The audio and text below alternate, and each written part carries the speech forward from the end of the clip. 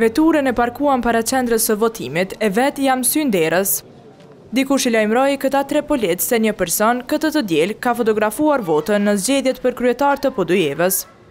Bile, ai është një mërgimtar që deshi ta ketë si vërtetim se kë zgjodhi për t'u bërë kryetar komune. Por plani nuk eci siç e kishte menduar, ngase për këtë u arrestua e u dërgua për intervistim. Ekipi i cili monitoron apo që zbaton procesin e votimit brenda klasës e ka bâ identifikimin dhe ka paraqit rastin si rasti i cili është fotografuar.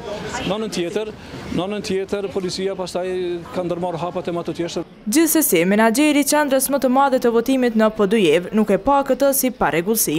Konsideroj se nuk ka qenë ndonjë rast që ka pas qëllim të keq, por pasi që qytetari ka pas një kurreshtje që jeton në botën e jashtme dhe ka dashtë me pas një votë të fotografuar para vetes.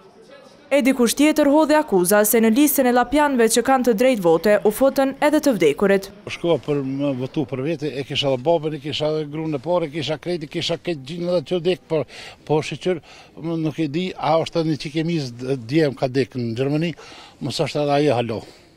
Ndërkohë në një tjetër qendër të votimit, dikush hyri të votojë me një maskë të personalizuar me numrin e njërit nga kandidatët për kryetar, por që për këtë nuk u ndalua. Sidoqoftë, Komisioni Qendror Zgjedhor dhe Demokracia në Veprim thanë se nuk kanë hasur në parregullsi që mund të ndikojnë në rezultatin e votimit.